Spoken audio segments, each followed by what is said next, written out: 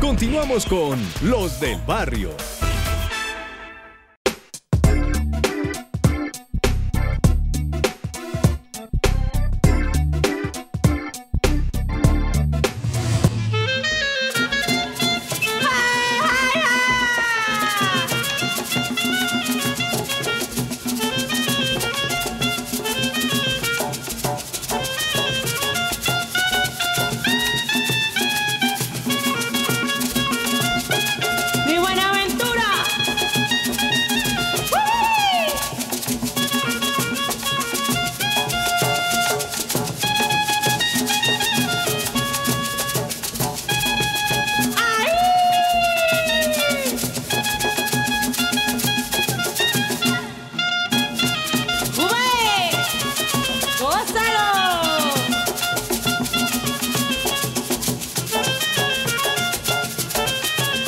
Colombiano.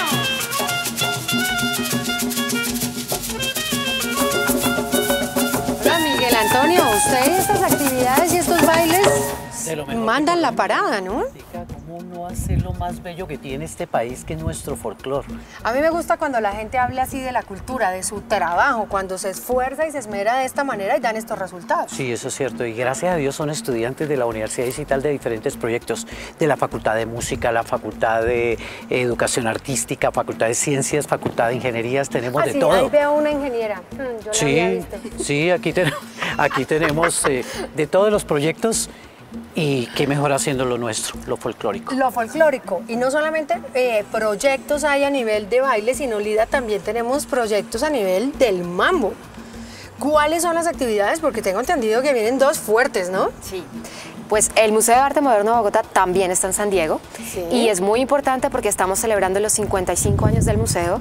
Estamos terminando Que es el Día de los Niños, ¿no? Se el celebra. 31 de octubre, 31 de cumplimos octubre. 55 años y ahorita tenemos eh, la exposición El arte de la desobediencia que está con la colección, luego sigue un evento que celebra que es la Gala Mambo y luego el 14 de noviembre inauguramos con la exposición Abriendo el Sistema, un homenaje a Carlos Rojas después de 20 años de su fallecimiento. La exposición El arte de la desobediencia está ahorita Sí. Abierta a todo el público. Está abierta a todo el público, es una selección de la colección de las décadas de los 60, 70 y 80 y va hasta el 24 de octubre. No se diga más porque allá tenemos un grupo de los del barrio poniéndole el sello y la firma al mapa.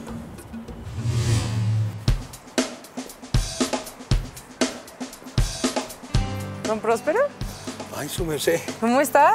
¿Usted es Juliana Sí. Echavarría? Sí, le estábamos esperando. ¿Cómo Ay, está? usted, usted es la directora del museo. ¿Usted qué es lo que hace acá? No, yo trabajo en el departamento de educación. ¿Ah, sí? Sí. ¿Y es la que me va a mostrar el museo? Sí, es- este sitio, este barrio está lleno de cosas como distintas, ¿no? sí, tenemos. ¿Cómo se llama este museo? El Museo de Arte Moderno. Y estos dibujitos. Esto es un mural que pertenece a la exposición actual que se llama El arte de la desobediencia. Ay, ¿y usted enseña eso?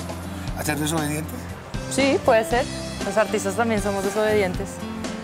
Bueno, pues sigamos. Pero ahí sí me obedece. Siga primero usted. Gracias.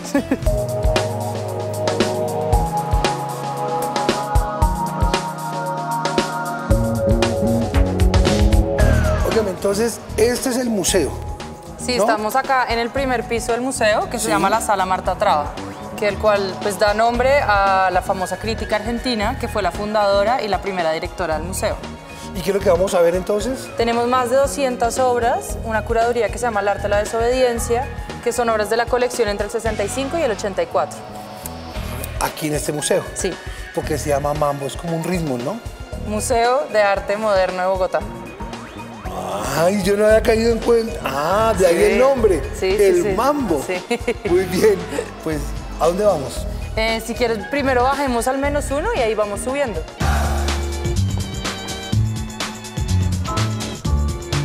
Su merced, ¿qué estamos viendo acá?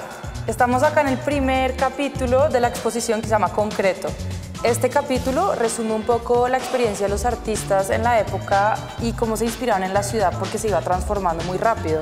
Vemos cómo usan materiales industriales, cómo salen a la ciudad y le toman fotos, cómo abstraen elementos de la ciudad como los cables, las puertas, las ventanas. Y la ciudad se volvió toda una plataforma de inspiración para los artistas.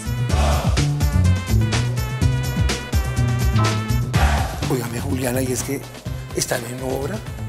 No, don Próspero, esto es una obra de Sara Modiano que se llama Proyecto 1 y es una exploración de cómo la arquitectura se ha transformado con la modernidad. Entonces es una pirámide latinoamericana, pero de ladrillo.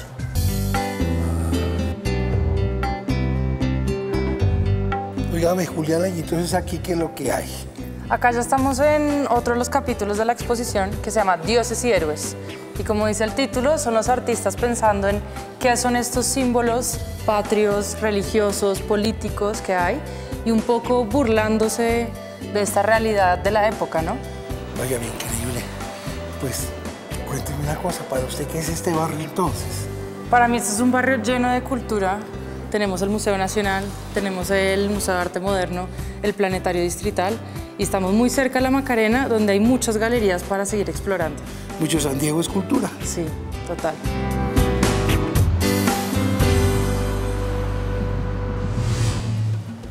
Bueno, cuando ya llegamos aquí a la plazoleta principal, acá hay varias esculturas. Esta por lo menos de quién es.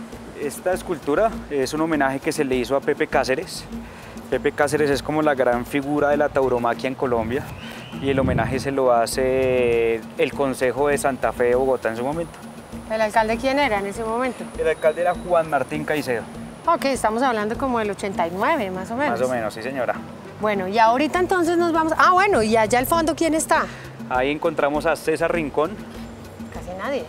Casi nadie, sí señora, otro de los genios y de las grandes figuras de la tauromaquia. ¿Qué pasó con el, con el museo? Acá había un museo. Aquí hace unos años operaba el Museo Taurino. Eh, ¿Y ahorita qué hay ahí? Ahorita ya estamos, ahorita no hay nada. Todo Ah, no, entonces está reposando en otro A mí escenario. no me cuente en lo que no he visto. Camínelo, mira. Vamos y miramos. Vamos y empezamos a hacer otro recorrido nosotros. Dale, claro que sí. Bueno, el museo, ¿hace cuánto que lo cerraron? Museo Taurino, desde mi administración, está cerrada. Yo llegué hace más o menos unos dos años aquí al escenario. Y ya lleva, yo creo que alrededor de 3, 4 años sin operar. Bueno, aquí, aquí quedaban todas las... Aquí quedaba todo, aquí encontrabas trajes de luces, eh, documentos eh, acerca de todo el tema de la tauromaquia. No solo aquí, sino pues a nivel internacional. Y todo lo que estaba aquí, ¿qué lo hicieron? ¿Para dónde se lo llevaron? Todo esto hoy en día reposa en el Palacio de los Deportes, pero sobre- en esta administración estamos ya haciendo todo lo posible para volver a abrir el Museo Taurino, tanto para turistas como para personas de aquí de la localidad. ¿Y cuándo cree usted que ya...? Porque este espacio está muy bonito. Yo creo que en un mes ya estamos operando de nuevo. ¿En serio? ¿Antes de Sí. final del año? Claro, esa es la idea para que el próximo año ya tengamos las puertas abiertas. Bueno, entonces caminemos a la capilla y Claro hacemos una sí, oración ahí para que en diciembre mostrando. tengamos el Es lo importante, claro que sí. Camine pues. Bueno, ¿y la capilla tiene algún nombre? No, no, no, no. Esta es la capilla de, pues, cuando tenemos corridas, donde los toreros vienen a, a pedir por sus fiestas. Ustedes son devotos de... Nosotros ¿La somos Virgen? devotos, o nosotros no, digamos los tauromaquios Los son devotos de la Virgen de la Macarena. Y ella es la Virgen, Y también tenemos aquí varias imágenes de la Virgen de Guadalupe. pero está, está muy bonita, Sí, está claro, acogedora la capilla. Entramos ahora, entramos también a una, a una restauración, digámoslo así, de la capilla también unos añitos atrás, cuando hubo todo el tema estructural aquí en Plaza. Normalmente los toreros, los amantes de los toros son devotos de algún santo, ¿cierto? Claro que sí, este sitio es sagrado para nosotros. Yo siempre permanezco con puertas abiertas aquí en Plaza. Lo dejamos que sea solo el espacio para ellos. De pronto algún turista que conozca un poco más del tema le damos ingreso. El resto permanece cerrado. Pues cuando nosotros estamos hablando de todo el barrio San Diego, también, venga, nos sentamos un poquito acá. Estábamos hablando ahorita precisamente de la Rebeca, del monumento, del túnel que hay. Aquí también hay un túnel, ¿no? Aquí también tenemos túnel, sí, claro. Ahí encontrarás lo que es la sala de cirugía. eh, y algunos espacios que están tratando de ser adecuados, digamos para el ejemplo Copa Davis, camerinos para los equipos. Bueno, esa me la queda debiendo. Claro que sí, Me la queda- ese, túnel me lo, ese túnel me lo queda debiendo para la próxima vez, pero nosotros vamos a ir a la Rebeca, ese monumento que adoptó eh, el barrio San Diego y que hoy lo consideran como su novia, como su niña bonita.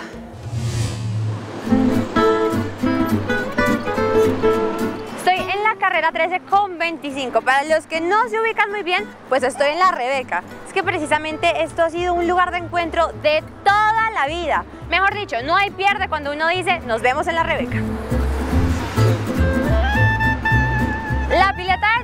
y la Rebeca tienen una cara totalmente distinta. ¿Qué pasa aquí, Juan? Pues eh, desde Aso San Diego hemos adoptado hace unos meses la Rebeca. Eh, esta intervención la iniciamos el 4 de julio. Nos cuadramos con la Rebeca, o sea, ahora somos los novios de la Rebeca y la cuidamos todo el tiempo. Tenemos eh, personal de mantenimiento que Ahí le está que la haciendo. están limpiando y eso es todos los días. Todos los días le estamos haciendo, compramos unos equipos como de piscina para hacerle limpieza todos los días a la pila, para que esté el entorno limpio, eh, con la seguridad que tenemos acá le estamos haciendo recorrido para que la gente no nos dañe los jardines. Todos estos jardines los recuperaron un montón, está súper bonito. Es un lugar como para venir a respirar aire fresco, hacer un plancito con todos los del barrio. Lo que queremos es, con la Defensoría del Espacio Público, con la fuga, lograr que esta plazoleta sea un espacio de permanencia. Hoy en día la Rebeca está muy sola, No, aparte la Rebeca ha sido un ícono a lo largo de todos estos años y qué chévere que vuelva a ser ese lugar de encuentro porque antes uno decía, nos vemos en la Rebeca y venían acá, compartían y todo, qué chévere que vuelva a ser eso, ¿no? Sí, exacto. Y como ven también, mucha presencia de la policía, mucho apoyo de la alcaldía local de Santa Fe. Eh, bueno, estamos trabajando con los vecinos, con el entorno, para que esto sea un entorno limpio, seguro y amable para todos los bogotanos. Ya nos dimos cuenta que en San Diego están recuperando los espacios, no solamente para los vecinos del barrio, sino los de toda Bogotá. Y es más, los amantes de la cultura les tenemos el plan.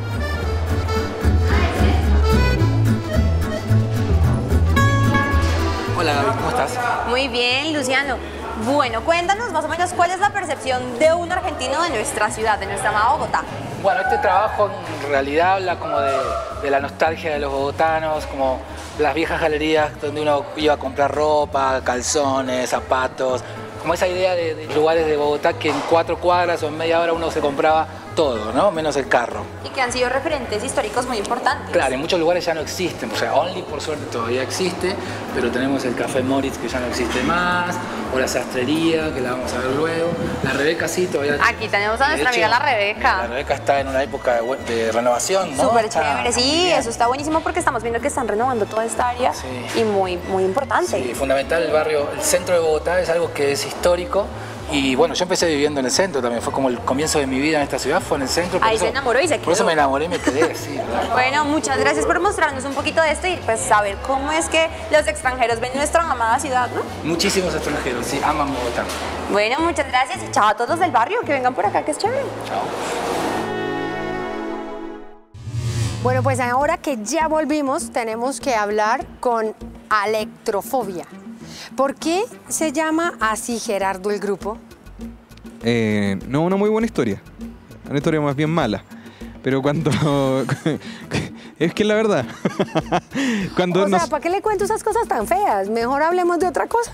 No, sí, eh, no, no hay gran historia. Cuando nosotros éramos bien niños, Rudy y yo éramos muy amigos de, de niños, y dijimos, alguna vez deberíamos tener una banda profesional y de- deberíamos tratar de dedicarnos a la música.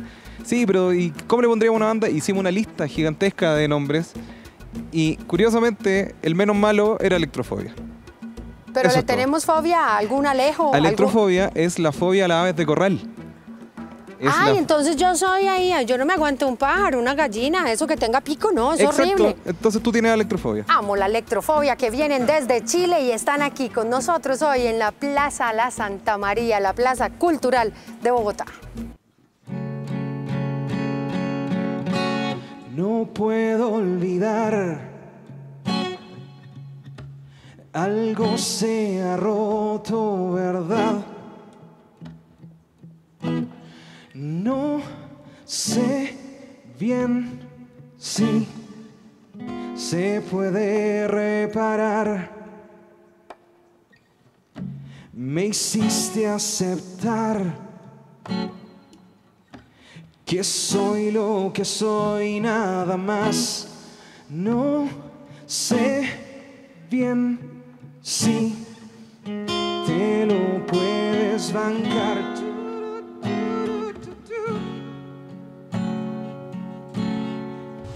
Nos gusta mucho venir por San Diego porque hay mucha naturaleza aún todavía que persiste y nos da airecito limpio para respirar.